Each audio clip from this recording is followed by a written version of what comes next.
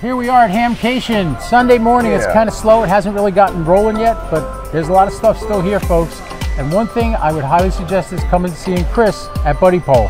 I have two of your antennas. Okay. You know how people complain about the BuddiStick, how hard it is to tune? Yeah, I went to sometimes. visit. I went to visit my family in Wisconsin for Thanksgiving. yeah, I brought it with me because it's great. You can get it on the plane real easy with it. They don't mind. right. right? So I brought it on the plane with me It my 705. The day I went to start using my radio, was 17 degrees. You want to know how fast I got that thing tuned? Yeah, I bet you Probably about 30 seconds. It was boom, right spot on, and I'm back in the house getting warm while I'm trying to make some QSOs. But it's a, everybody, you know, you'll hear people complain about things. I hear it a lot. People complain about this and that, and all, or like Windows 11. It's like the curse, the bane of ham radio is Windows 11. It's not. It works. You just have to take your time and learn the Yeah, that's it's a bit of a learning curve, and there's guys that get it immediately. Um, we provide a, a manual with all the settings, Right. but the ground changes, things change, and it can be off a little bit. So having an analyzer, um, particularly maybe before you go to the field, Right. or, or that field day event, whatever it is, just getting it up, uh, set, setting it up, and uh, running through with an analyzer, and just checking all those settings to make sure that they're I resonant. have two of your products. I have the BuddiStick and Pro, and I have the uh, BuddiPole. Pole. Uh, the buddy Deluxe. pole antenna. Buddy yeah. Pole Deluxe. Yep. It came with an 11 foot mast. I used it like that. It worked. It was great. Well, I ended up saying to myself, you know, this, this was a little higher. It probably worked better. So I got the 18 foot mast from you. Right. Day and night. Yeah. Day and night, just from 11 to 18 feet. That thing, I got 124 contacts in less than an hour of Parks on the Air activation. Yeah, that's uh, I'm getting you know the, Europe and I'm getting uh, North America, Canada. I got from Oregon to France Yep. on that, and it was amazing. just band it. conditions and you know it's really dependent on uh, which band it is. So on 40 meters, it's hard to get that horizontal dipole high enough. Some people talk about a, a quarter wavelength height as a rule of thumb. Others a half wavelength height. Um, on 40 meters, you know, you're talking 33 feet as a, as a quarter wavelength. So what happens is that horizontal dipole is lower than we'd like it, uh, and the takeoff angle then is much higher. Uh, so it's not as good uh, for, for DX type of work. If you can't get that, I always want to run the horizontal dipole because it's just a better antenna, um, nine times out of 10 than, than the vertical. Um, but it suffers from that height above ground. So on 10 meters, on 15 meters, that's pretty easy to get that height, even with our, you know, with one of our masts. Right. Um, but I'm always looking for relative high points so I can run that horizontal dipole on 40 meters. That might be up at, uh, you know, might be on a balcony, it might be on a rooftop, it might anywhere where the ground slopes away quickly. I'm looking for those spots. Right. If I can't find that on 40 meters and I want to reach out and touch somebody, um, you know, DX type contacts, I'm gonna I'm gonna change that from a horizontal dipole and I'm, I'm gonna run that maybe as, a, as an L antenna or a lazy L vertical dipole, or I'll just take the uh, the radio wire that we provide with the deluxe packages and I'll bring that out, elevated radial, and run it as a vertical antenna, low I was takeoff going to angle. just ask you about that. I think I asked you about that last year, about all the different configurations, because I, I hadn't tried it because I didn't know where do you put the taps when you change those things. And you, you mentioned Yeah. to me you leave them the same way. Hey, buddy, I can see it. You leave them the same way they, that it sets it for the dipole. And I, but then which one do you put vertical? You put the red side or the black side up vertical? I don't know. Yeah. Is it any? Yeah. Is it in no, particular? it actually doesn't matter. Just a function of length, and you're gonna, you know, it's a couple ways to tune this. An analyzer is the easiest way, um, but another way with that vertical is we can just take that that mini banana plug that we use to plug into the to the clips, and then we can just rake that coil. We can turn our radio up on 20 meters, 14, 200.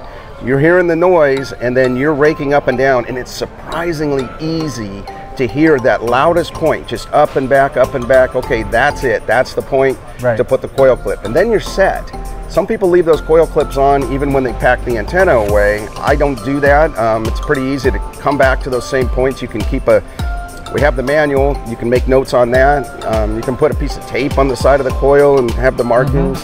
I have hash marks on my coil, so I just have it on my phone. It's well, it's 12, uh, turn number 12 on, on the on the on the red side coil, and turn number uh, eight on the black side coil. And I'm going to go back to those points again. So. I got a suggestion for you. Give when you when you buy a pole or or a stick, either or, you get the little instruction sheet that shows the breakdown of Yep. where everything's supposed to go, particular band you're using. I highly suggest you make little plastic cards Right, we, and we've done that in the past. throw in there. that would Yeah. be cool.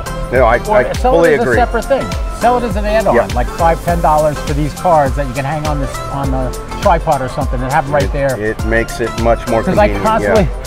Spill something on the paper and I got to go print it out again. Right. you know, I was thinking, I was thinking of making it myself. I said, no, no, I'll mention it to you. Maybe it's something you could throw in, like another little add-on in your shop. If you if you want cards that show you the points, there, here you go, and Yeah. the different configurations. No, it's a good idea. We have done that in the past, and it just Yeah. got away from it for whatever reason. But that's uh, all right. But I mean, Yeah. this is a great antenna, and I don't, I've actually I've actually got to work with Jason. He has the uh, um, hex beam, right. And we did that up in Huntsville, and I watched them set it up from scratch, and it's it's a little tedious. I don't know if I'd use it for parks on the air because I mean I'm going to be there an hour. You know, to set it up for an hour. a, lot, a little overkill. a lot of people want to sit and operate longer than that, Right. and um, so if you're there for a few hours, Right, uh, if you're going to Jason, I- picnic for the day or whatever, yeah. And when we do Parks on the Air at, up at Huntsville, up at Monte Sano, come and see us in August. We'll be there the day before the event starts. Uh, he sets it up there. Yeah, And what's okay. nice is he's got a triplexer, so you can have like three radios yes, connected to it at the same yeah, time. the DXpeditions are doing that. The Field Yeah. Day guys are doing that. Um, that that's a great idea. As Yeah, long so as multiple guys could be operating using different bands on the same hex beam at the same time. It's, Right. It's incredible. Yep, But that's it's a a, neat great thing little about it. product. Everyone I've, I've had, I love. I have it in my car right now out there. Okay. parked out there. I got the Yeah, stick it's- and the and the pole. It's like a Lego set. You know, we, we mix and match the parts to create different types of antennas. I Um, actually saw a guy did a video, took the BuddiPole Deluxe, bought a few extra things and made a six meter uh, yeah, two beam. two or three elements Three six meter, six meter beam, and. I was like, "Damn, I can do that with this. I Yeah. want to try that." You know, We just do gotta it- buy more pieces. We do a neat little uh, two meter 440 J pole, and just right from the parts, you don't need anything extra out of the bag with the rotating arm kit Right. and the telescopic whips, 54 inches and 19 on the other side.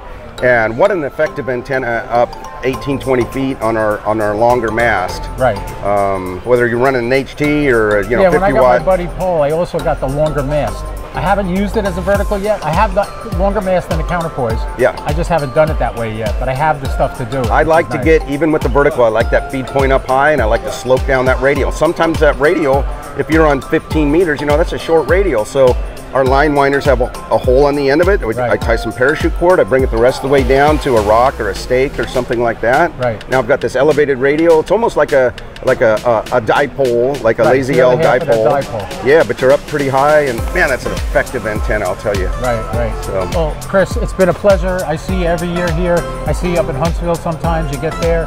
I might get there this year. Yeah, we're talking about it. So.